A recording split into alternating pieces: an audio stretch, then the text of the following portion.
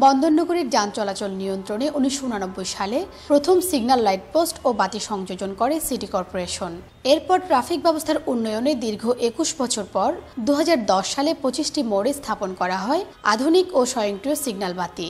কিন্তু রক্ষণাবেক্ষণের অভাবে এসব সিগন্যাল বাতির বেশিরভাগই এখন নষ্ট। আর যে কয়েকটি পয়েন্টের বাতি সক্রিয় আছে, ফ্লাইওভারের নির্মাণ কাজের জন্য সেসব বাতির বিদ্যুৎ সংযোগও বন্ধ রাখা হয়েছে।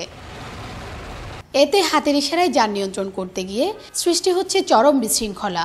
বিভিন্ন মোড় থেকে ছুটে আসা এলোপাতারি গাড়িতে সড়ক জুড়ে সৃষ্টি হচ্ছে দীর্ঘ যানজট। পরিস্থিতি নিয়ন্ত্রণ করতে না পারার বিষয়টি স্বীকার করেছেন ট্রাফিক বিভাগের কর্মকর্তারাও। কিছু কিছু প্রতিবন্ধকতা আছে, এটা ওভারকাম করার উপায় নাই। ব্যবসায়িক কাজকর্ম বাড়ার কারণে আমদানি রপ্তানি বাড়ার কারণে আপনার ট্রান্সপোর্টের সংখ্যা অত্যাধিক বৃদ্ধি পেয়েছে। এই যে বাস্তবতা।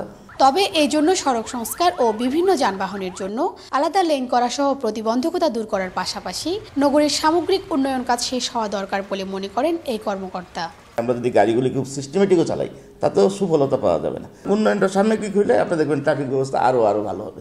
নতুন করে স্বয়ংক্রিয় সিগন্যাল বাতি বসানোর আগে মোড় অনুযায়ী সময় নির্ধারণ সহ সব জরিপ কাজ সম্পন্ন করা ও সিটি কর্পোরেশনের সাথে সমন্বয় জরুরি বলেও মত ট্রাফিক বিভাগের।